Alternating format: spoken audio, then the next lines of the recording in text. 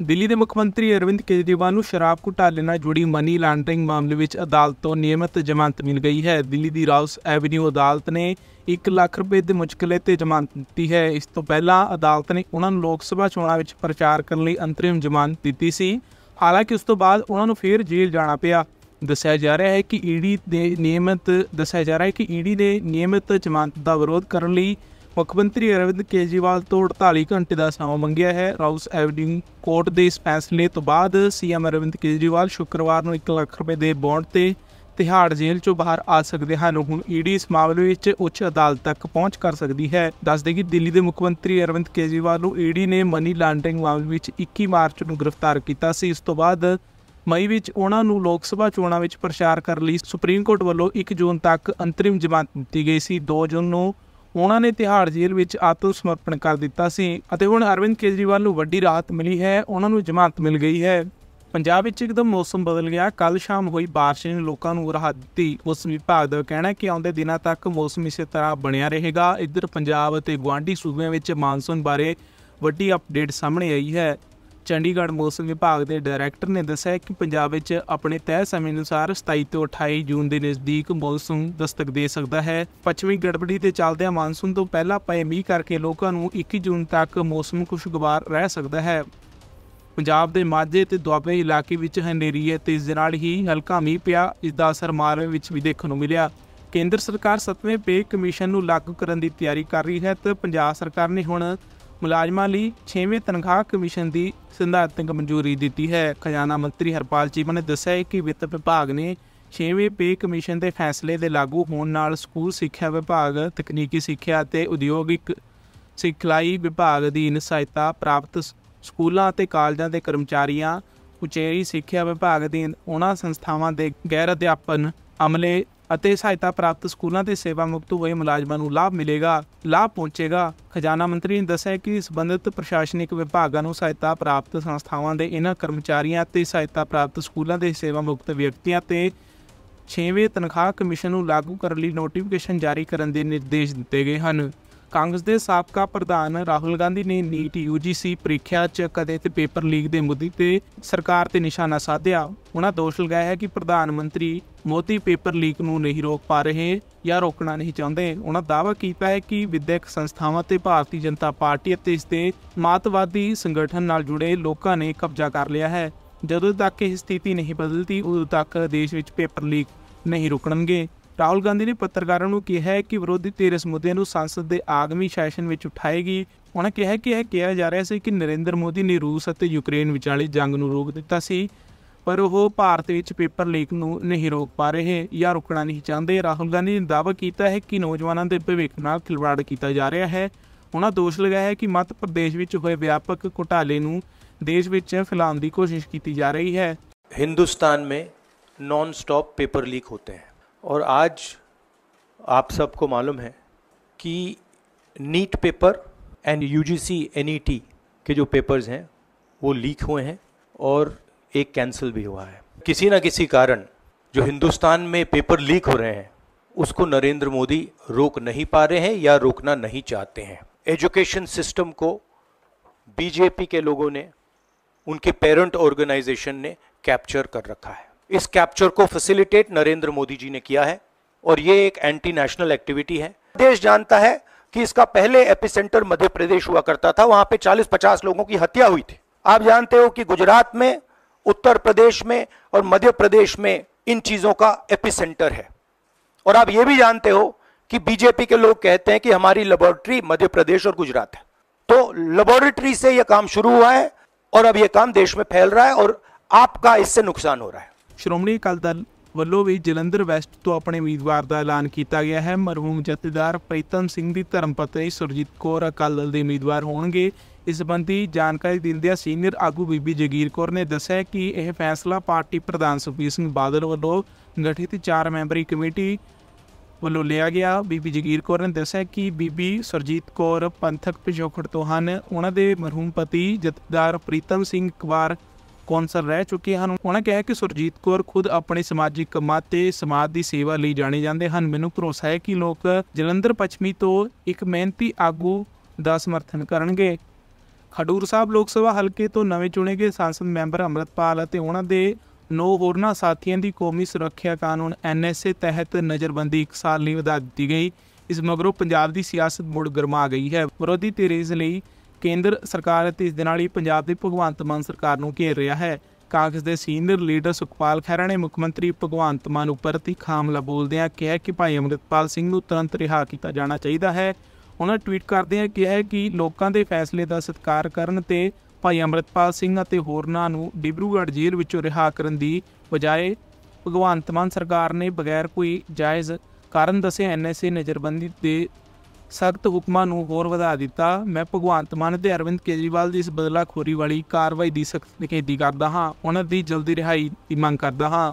ਦੋਸਤੋ, ਅੱਜ ਮੈਂ ਤੁਹਾਡੇ ਨਾਲ ਚਰਚਾ ਕਰਨਾ ਚਾਹੁੰਦਾ ਹਾਂ, ਜਿਹੜਾ ਬੜਾ ਅਨਿਆਏ ਹੋ ਰਿਹਾ ਵਾ ਪੰਜਾਬ ਦੇ ਸਿੱਖ ਨੌਜਵਾਨਾਂ ਨਾਲ, ਭਾਈ ਅੰਮ੍ਰਿਤਪਾਲ ਸਿੰਘ ਅਤੇ ਦੂਸਰਿਆਂ ਨਾਲ, ਜਿਨ੍ਹਾਂ ਨੂੰ ਹਜ਼ਾਰਾਂ ਕਿਲੋਮੀਟਰ ਦੂਰ ਦਿਬਰੂਗੜ੍ਹ ਦੀਆਂ ਆਸਾਮ ਦੀਆਂ ਜੇਲ੍ਹਾਂ ਵਿੱਚ ਪਿਛਲੇ 1 ਸਾਲ ਤੋਂ ਜ਼ਿਆਦਾ ਨਜ਼ਰਬੰਦ ਕੀਤਾ ਹੋਇਆ। ਮੈਨੂੰ ਸਮਝ ਨਹੀਂ ਆਉਂਦੀ ਕਿ ਪੰਜਾਬ ਹੋਵੇ ਤੇ ਪੰਜਾਬ ਇੱਕੋ ਇੱਕ ਸਟੇਟ ਹੈ ਜਿੱਥੇ ਇੱਕ ਮਾਈਨੋਰਿਟੀ ਸਿੱਖਾਂ ਦਾ ਬੋਲਬਾਲਾ ਹੈ। ਔਰ ਹਮੇਸ਼ਾ ਇੱਥੇ ਪੰਜਾਬ ਦੇ ਵਿੱਚ ਜਿਹੜਾ ਚੀਫ ਮਿਨਿਸਟਰ ਬਣਦਾ, ਉਹਦੀ ਪਹਿਲੀ ਤਰਜੀਹ ਇਹ ਹੁੰਦੀ ਆ ਕਿ ਮੈਂ ਆਪਣੀ ਕਮਿਊਨਿਟੀ ਦਾ, ਪੰਜਾਬ ਦੇ ਕਿਸਾਨਾਂ ਦਾ, ਪੰਜਾਬ ਦੇ ਮੁੱਦਿਆਂ ਦੇ ਪੈਰਵਾਈ ਕਰਾਂ।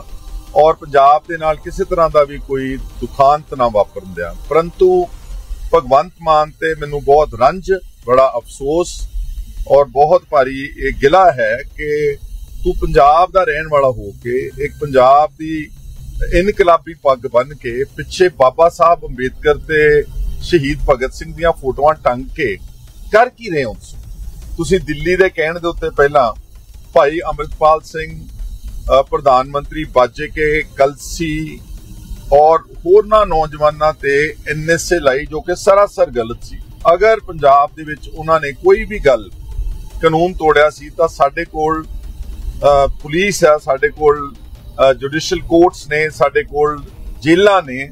ਤੁਸੀਂ ਕਿਸੇ ਨੂੰ ਵੀ ਪੰਜਾਬ ਦੇ ਵਿੱਚ ਟ੍ਰਾਇਲ ਕਰੋ ਉਸ ਨੂੰ ਬਣਦੀਆਂ ਧਾਰਾਵਾਂ ਲਾਓ, ਉਹਨਾਂ ਨੂੰ ਪੰਜਾਬ ਦੀ ਜੇਲ੍ਹ ਵਿੱਚ ਰੱਖੋ ਤਾਂ ਕਿ ਉਹਨਾਂ ਦੇ ਮਾਪਿਓ, ਉਹਨਾਂ ਦੇ ਪੇਰੈਂਟਸ ਜਿਹੜੇ ਮਿਲ ਸਕਣ। ਔਰ ਟਾਡਾ ਤੇ ਯੂਆਪਾ ਤੇ ਐਨਐਸਏ ਇਹ ਤਾਂ ਅੱਜ ਦੇ ਵਿਸ਼ਵ ਦੇ ਵਿੱਚ ਕੋਈ ਦੁਨੀਆ ਦਾ, ਕੋਈ ਦੇਸ਼ ਲਾਉਣ ਨੂੰ ਤਿਆਰ ਨਹੀਂਗਾ ਇਹ ਹਿਊਮਨ ਰਾਈਟਸ ਦੇ ਬਹੁਤ ਕੋਰ ਉਲੰਘਣਾ ਮੰਨੀ ਗਈ ਆ। ਪਰ ਪੰਜਾਬ ਦੇ ਮੁੱਖ ਮੰਤਰੀ ਨੇ ਨਾ ਸਿਰਫ ਐਨਐਸਏ ਲਾਈ ਪਿਛਲੇ ਸਾਲ, ਔਰ ਬਹੁਤ ਡਰਾਮਾ ਰਚਿਆ।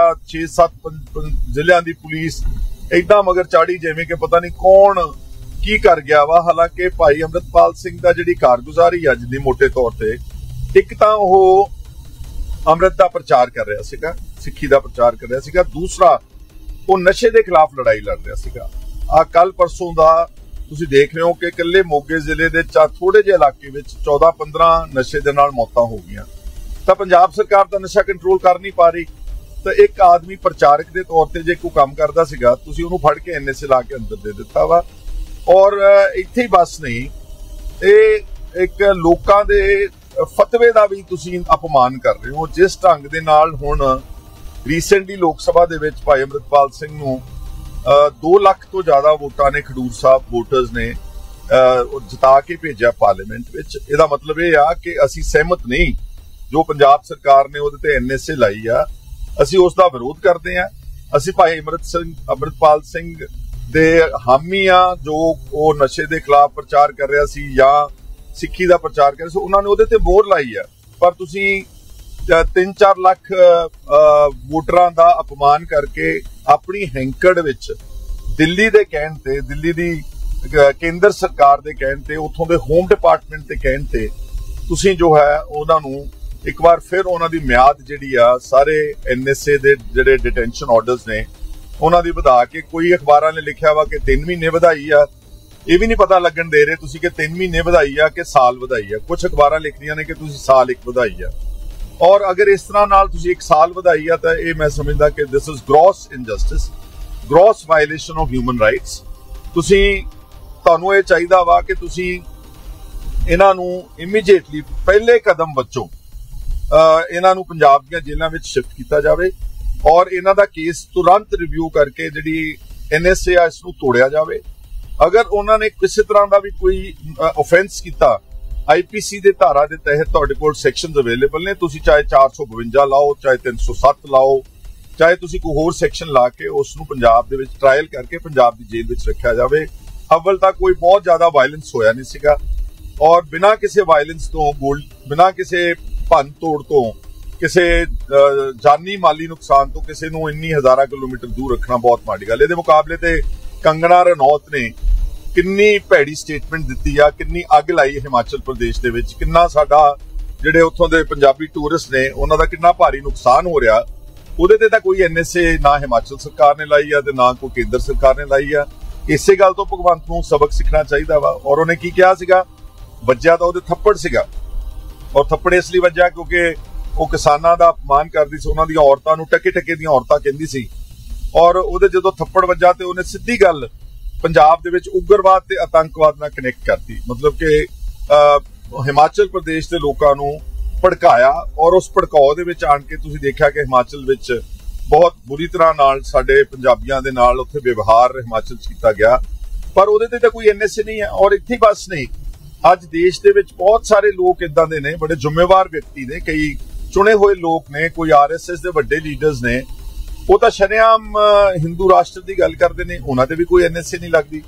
ਤਾਂ ਕੇਵਲ ਚੁਣ ਕੇ ਪੰਜਾਬ ਦੇ ਵਿੱਚੋਂ ਇਹਨਾਂ ਨੌਜਵਾਨਾਂ ਦੇ ਉੱਤੇ ਐਨਐਸਏ ਲਾਉਣੀ, ਇਹਦਾ ਮਤਲਬ ਕਿ ਨਾ ਸਿਰਫ ਤੁਸੀਂ ਆਪਣੀ ਕੌਮ ਦੇ ਨਾਲ ਗਦਾਰੀ ਕਰ ਰਹੇ ਹੋ, ਆਪਣੇ ਸੂਬੇ ਦੇ ਲੋਕਾਂ ਨਾਲ ਗਦਾਰੀ ਕਰ ਰਹੇ ਹੋ, ਬਲਕਿ ਤੁਸੀਂ ਇਹ ਆਪਣਾ ਹੋਮ ਡਿਪਾਰਟਮੈਂਟ ਜਿਹੜਾ ਹੈ, ਉਹ ਕੰਪਲੀਟ ਸਰੈਂਡਰ ਵੀ ਕਰ ਰਹੇ ਹੋ ਕੇਂਦਰ ਸਰਕਾਰ ਦੇ ਹਵਾਲੇ ਕਿ ਅਸੀਂ ਤਾਂ ਇਦਾਂ ਹੀ ਚੱਲ, ਅਸੀਂ ਜੋ ਤੁਸੀਂ ਕਹੋਗੇ ਅਸੀਂ ਤੁਹਾਡੇ ਆਖੇ ਜਿਸ ਨੂੰ ਮਰਜ਼ੀ ਫੜ ਕੇ ਅੰਦਰ ਦਿਆਂਗੇ। ਔਰ ਵੈਸੇ ਵੀ ਪੰਜਾਬ ਦੇ ਵਿੱਚ ਬਹੁਤ ਖਤਰਨਾਕ ਝੂਠੇ ਪਰਚਿਆਂ ਦਾ ਦੌਰ ਚਲਾਇਆ ਭਗਵੰਤ ਮਾਨ ਨੇ।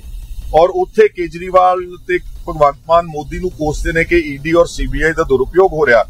ਤੇ ਉਹਦੇ ਨਾਲੋਂ ਵੱਧ ਤੁਸੀਂ ਪੰਜਾਬ ਦੇ ਵਿੱਚ ਆਪਣੇ ਓਪੋਨੈਂਟਸ ਨੇ ਜਿਹੜੇ, ਚਾਹੇ ਉਹ ਕੋਈ ਸਿਆਸੀ ਵਿਰੋਧੀ ਨੇ, ਚਾਹੇ ਉਹ ਕੋਈ ਐਕਟਿਵਿਸਟ ਨੇ, ਚਾਹੇ ਉਹ ਝੂਟਾ ਹੈ, ਚਾਹੇ ਉਹ ਭਾਨਾ ਸਿੱਧੂ ਹੈ, ਚਾਹੇ ਉਹ ਲੱਖਾ ਸਦਾਣਾ ਹੈ, ਚਾਹੇ ਕਾਂਗਰਸ ਦੇ ਦਰਜਨਾਂ ਲੀਡਰਾਂ ਦੇ ਉੱਤੇ ਤੁਸੀਂ ਇਦਾਂ ਦੇ ਪਰਚੇ ਦਰਜ ਕੀਤੇ ਜਿਹੜੇ ਕਿ ਸਾਫ਼ ਨਜ਼ਰ ਆਉਂਦਾ ਕਿ ਬਦਲਾਖੋਰੀ ਔਰ ਪੋਲੀਟੀਕਲ ਵੈਂਡੇਟਾ ਦੇ ਆ। ਪੁਲਿਸ ਇਸ ਕਰਕੇ ਨਹੀਂ ਹੈ। ਪੁਲਿਸ ਨਸ਼ੇ ਨੂੰ ਕੰਟਰੋਲ ਕਰਨ ਵਾਸਤੇ ਹੋਣੀ ਚਾਹੀਦੀ ਹੈ। ਪੁਲਿਸ ਲਾਅ ਐਂਡ ਆਰਡਰ ਨੂੰ ਮੇਨਟੇਨ ਕਰਨ ਵਾਸਤੇ ਹੋਣੀ ਚਾਹੀਦੀ ਇੰਨੀਆਂ ਸੂਬੇ ਵਿੱਚ ਚੋਰੀਆਂ ਔਰ ਇਸ ਤਰ੍ਹਾਂ ਦੇ ਹਰਕਤਾਂ ਹੋ ਰਹੀਆਂ ਨੇ ਕਿ ਹਰ ਨਾਗਰਿਕ, ਹਰ ਔਰਤ ਬੜੀ ਅਨਸੇਫ ਮਹਿਸੂਸ ਕਰਦੀ। ਉੱਥੇ ਤਾਂ ਪੰਜਾਬ ਪੁਲਿਸ ਇਸਤੇਮਾਲ ਨਹੀਂ ਕੀਤੀ ਜਾ ਰਹੀ। ਪਰੰਤੂ ਇਦਾਂ ਦੇ ਕਾਲੇ ਕਾਨੂੰਨ ਥੋਪ ਕੇ ਸਾਡੇ ਨੌਜਵਾਨਾਂ ਨੂੰ ਦੂਰ ਰੱਖਣਾ ਇਹ ਬਹੁਤ ਮਾੜੀ ਗੱਲ। ਔਰ ਅਖੀਰ 'ਚ ਮੈਂ ਕਹਿਣਾ ਚਾਹੁੰਦਾ ਕਿ ਭਗਵੰਤ ਨੂੰ ਕਿ ਆ ਜਿਹੜਾ ਪਖੰਡ ਚਲਾਇਆ ਵਾ, ਸ਼ਹੀਦ ਭਗਤ ਸਿੰਘ ਦੀ ਫੋਟੋ ਔਰ ਬਾਬਾ ਸਾਹਿਬ ਅੰਬੇਦਕਰ ਦੀ ਫੋਟੋ, ਇਹਨੂੰ ਕਿਰਪਾ ਕਰਕੇ ਲਾ ਦਿਓ। ਕਿਉਂਕਿ ਜੇ ਸ਼ਹੀਦ ਭਗਤ ਸਿੰਘ ਜਿੰਦਾ ਹੁੰਦਾ, ਜਿਹੜਾ ਆਪ ਬਾਗੀ ਸੀ, ਜਿਹੜਾ ਉਸ ਵਕਤ ਦੇ ਅੰਗਰੇਜ਼ ਸਾਮਰਾਜ ਦੇ ਖਿਲਾਫ ਲੜਦਾ ਸੀ, ਕਿ ਉਹ ਅੱਜ ਐਨਐਸਏ ਦਾ ਮੁਦਈ ਹੁੰਦਾ? ਕਿ ਉਸਨੇ ਪੰਜਾਬ ਦੇ ਨੌਜਵਾਨਾਂ ਤੇ ਐਨਐਸਏ ਲਾ ਕੇ ਤੇ ਅਹ, ਅਸਾਮ ਦੀਆਂ ਜੇਲ੍ਹਾਂ ਵਿੱਚ ਉਹਨਾਂ ਨੂੰ ਭੇਜਣਾ ਸੀਗਾ ਇਹ ਮੇਰਾ ਸਵਾਲ ਹੈ। ਤੇ ਜੇ ਬਾਬਾ ਸਾਹਿਬ ਅੰਬੇਦਕਰ ਜੀਂਦੇ ਹੁੰਦੇ ਜਿਹੜੇ ਕਿ ਇੱਕ ਬਹੁਤ ਡੈਮੋਕ੍ਰੈਟ ਸੀਗੇ ਜਿਨ੍ਹਾਂ ਨੇ ਸੰਵਿਧਾਨ ਘੜਿਆ ਜੇ ਉਹ ਅਗਰ ਜੀਂਦੇ ਹੁੰਦੇ ਤਾਂ ਉਹ ਟਾਡਾ ਤੇ ਯੂਆਪਾ ਤੇ ਐਨਐਸਏ ਵਰਗੇ ਕਾਲੇ ਕਾਨੂੰਨ ਲਾਉਂਦੇ ਆਪਣੇ ਲੋਕਾਂ ਦੇ ਉੱਤੇ ਪੰਜਾਬ ਦੇ। ਬਸ ਇਸ ਗੱਲ ਦਾ ਮੈਨੂੰ ਜਵਾਬ ਚਾਹੀਦਾ ਵਾ ਔਰ ਮੈਂ ਪੰਜਾਬ ਦੇ ਲੋਕਾਂ ਨੂੰ ਕਹੂੰਗਾ ਕਿ ਇਦਾਂ ਦੀ ਸਰਕਾਰ ਤੋਂ ਬਚੋ ਇਹ ਆਪਣੇ ਨਹੀਂ ਗਏ। ਇਹ ਕੰਪਲੀਟਲੀ ਇਹਨਾਂ ਦਾ ਦਿੱਲੀੋਂ ਸਰੈਂਡਰ ਆ। ਔਰ ਜਿੰਨੀਆਂ ਨਿਯੁਕਤੀਆਂ ਜੋ ਕੁਝ ਪਿਛਲੇ ਨੌਕਰੀਆਂ ਗਈਆਂ ਸਭ ਗੈਰ ਪੰਜਾਬੀਆਂ ਨੂੰ ਦੇ ਕੇ ਇਹਨਾਂ ਨੇ ਪੰਜਾਬ ਦਾ ਬਹੁਤ ਨੁਕਸਾਨ ਕੀਤਾ ਵਾ। ਔਰ ਕੇਵਲ ਚੁਟਕਲੇ ਅ, ਕਿਕਲੀਆਂ ਤੇ ਹਾਸੋਹੀਣੀਆਂ ਗੱਲਾਂ ਅੱਜ ਤੁਸੀਂ ਦੇਖੋ ਮੈਂ ਨਸ਼ੇ ਤੇ ਫਿਰ ਦੁਬਾਰਾ ਆਉਣਾ ਬੜਾ ਸੀਰੀਅਸ ਇਸ਼ੂ ਆ। ਔਰ ਅੱਜ 2 ਸਾਲ ਤੋਂ ਉੱਤੇ ਟਾਈਮ ਹੋ ਗਿਆ ਲੇਕਿਨ ਕਿਤੇ ਵੀ ਡਰੱਗਸ ਕੰਟਰੋਲ ਕਰਨ ਦਾ ਨਾਮ ਨਹੀਂ ਲੈ ਰਿਹਾ। ਔਰ ਡਰੱਗਸ ਕੋਈ ਐਵੇਂ ਛੋਟੀ-ਮੋਟੀ ਸਮੱਸਿਆ ਨਹੀਂ ਗੀ। ਇਹ ਪੰਜਾਬ ਦੀ ਗਿਰਦੀ ਹੋਈ ਆਰਥਿਕ ਇਕਨੋਮੀ ਦੇ ਨਾਲ ਕਨੈਕਟਡ ਹੈ। ਇਹ ਜਿਹੜੀ ਖੇਤੀ ਸਾਡੀ ਢਹਿ ਢੇਰੀ ਹੋ ਰਹੀ ਹੈ ਉਸ ਦੇ ਨਾਲ ਕਨੈਕਟਡ ਆ। ਇਸ ਕਰਕੇ ਬੜੇ ਡੂੰਘੀਆਂ ਜੜਾਂ ਨੇ ਔਰ ਇਹਨੂੰ ਇਹਨੂੰ ਇਹਨੂੰ ਡਰੱਗਸ ਨੂੰ ਖਤਮ ਕਰਨ ਵਾਸਤੇ ਬਹੁਤ ਸੰਜੀਦਾ ਲੰਬੇ ਸਮੇਂ ਦੀ ਅਪਰੋਚ ਚਾਹੀਦੀ। ਇਕੱਲੇ ਐਨਡੀਪੀਐਸ ਦੇ ਪਰਚੇ ਦਰਜ ਕਰਕੇ ਲੋਕਾਂ ਨੂੰ ਜੇਲ੍ਹਾਂ 'ਚ ਸੁੱਟ ਕੇ ਮੈਂ ਸਮਝਦਾ ਕਿ ਡਰੱਗਸ ਕੰਟਰੋਲ ਨਹੀਂ ਹੋ ਸਕਦੇ ਪਰ ਫਿਰ ਮੈਂ ਦੁਬਾਰਾ ਅੱਜ ਕਹੂੰਗਾ ਮੇਰੀ ਮੰਗ ਆ ਕਿ ਅਹ, ਜਿਹੜੀ ਐਨਐਸਏ ਦਾ ਵਾਅਦਾ ਕੀਤਾ ਗਿਆ ਉਹ ਖਤਮ ਕੀਤਾ ਜਾਵੇ। ਐਨਐਸਏ ਤੋੜ ਕੇ ਭਾਈ ਅੰਮ੍ਰਿਤਪਾਲ ਸਿੰਘ ਅਤੇ ਉਹਨਾਂ ਦੇ ਜਿੰਨੇ ਸਾਥੀ ਨੇ ਉਹਨਾਂ ਨੂੰ ਰਿਹਾ ਕੀਤਾ ਜਾਵੇ ਤਾਂ ਕਿ ਉਹ ਪਾਰਲੀਮੈਂਟ ਵਿੱਚ ਜਾ ਕੇ ਆਪਣੀ ਸਹੁੰ ਚੁੱਕ ਸਕਣ। ਅਗਰ ਤੁਹਾਨੂੰ ਮੇਰੀ ਗੱਲਾਂ ਅੱਛੀਆਂ ਠੀਕ ਲੱਗੀਆਂ ਤਾਂ ਕਿਰਪਾ ਕਰਕੇ ਵੱਧ ਤੋਂ ਵੱਧ ਇਹਨਾਂ ਨੂੰ ਆਪਣੇ ਸਰਕਲਸ ਦੇ ਵਿੱਚ ਸ਼ੇਅਰ ਕਰਨਾ। ਤੁਹਾਡਾ ਸਾਰਿਆਂ ਦਾ ਜੋੜਨ ਵਾਸਤੇ ਬਹੁਤ ਬਹੁਤ ਸ਼ੁਕਰੀਆ। ਵਾਹਿਗੁਰੂ ਜੀ ਕਾ ਖਾਲਸਾ, ਵਾਹਿਗੁਰੂ ਜੀ ਕੀ ਫਤਿਹ।